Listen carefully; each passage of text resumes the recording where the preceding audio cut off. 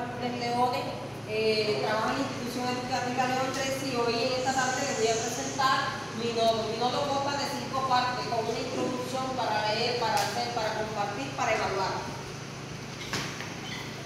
Eh, en la introducción, el presente entorno personal de aprendizaje tratará sobre el entorno como un texto de tipo y será abordado desde la pedagogía emergente a invertida. Eh, aquí les presento un mapa conceptual que se hace referencia a lo que son los, tipos, los tipos de descripción como en el retrato. Eh, para leer utilice la Wikipedia, donde los niños deben de, consultar lo que es la descripción.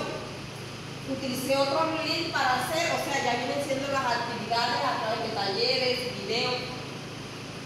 Y aquí muestro las evidencias acerca de mi nodo, como los niños a través de la lectura también lo pueden dramatizar.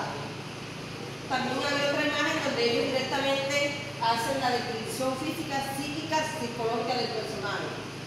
Y aquí para compartir, los niños hacen una muestra de lo que, lo que aprendieron y lo, lo pueden transmitir ellos también desde el aula a los demás compañeros. Y para hacer, ya aquí ellos buscan lo que aprendieron, lo están, eh, están colocando como lluvias de ideas acerca de lo que aprendieron.